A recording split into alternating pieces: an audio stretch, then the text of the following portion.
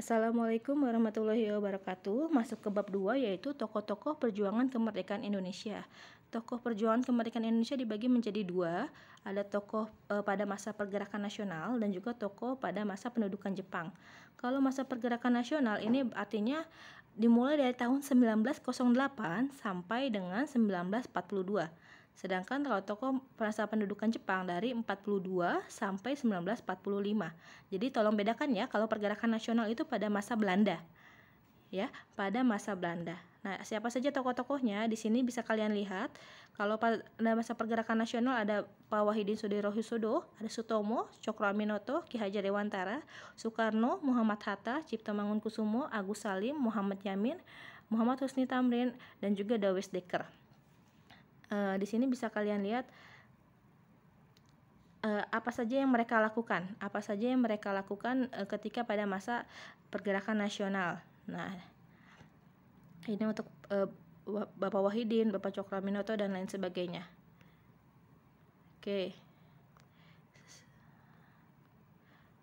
Nah, untuk uh, ini kalian bisa baca sendiri melalui internet ya. Kalian bisa cari tahu sendiri tentang tokoh-tokoh ini karena ini hanya rangkumannya saja apa saja yang telah mereka lakukan pada masa pergerakan nasional.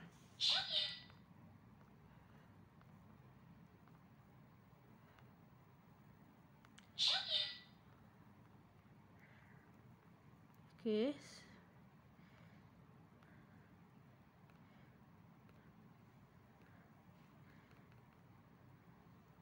Nah, ini tokoh-tokoh masa pergerakan nasional.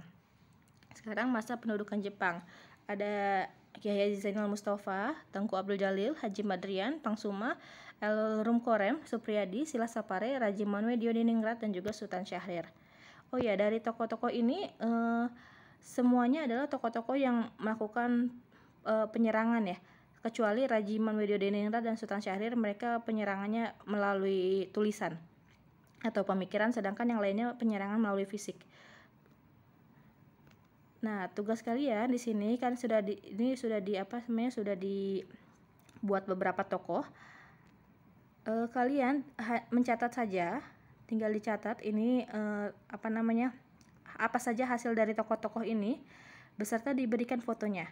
Jadi ibu mau e, dari sekian banyak tokoh ini kalian tuliskan di buku catatan kalian dari dari bisa empat dari masa pergerakan nasional dan juga empat tokoh pada masa pendudukan Jepang kalian tuliskan beserta fotonya. Jadi eh, empat empat tokoh pergerakan nasional serta empat tokoh eh, pendudukan Jepang serta fotonya. Oke sampai sini eh, untuk materi bab kedua. Wassalamualaikum warahmatullahi wabarakatuh.